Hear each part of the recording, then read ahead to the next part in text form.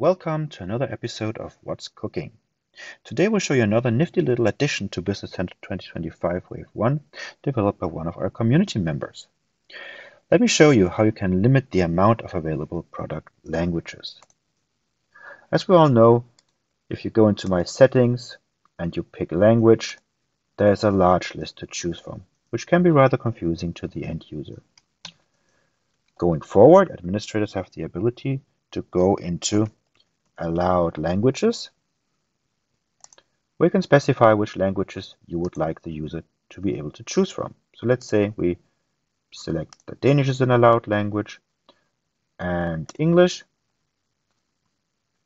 There we go. Now, if you go into my settings, the user will only be able to choose from the languages which are allowed. For information, there's a little uh, notification showing here that this is now a filtered view.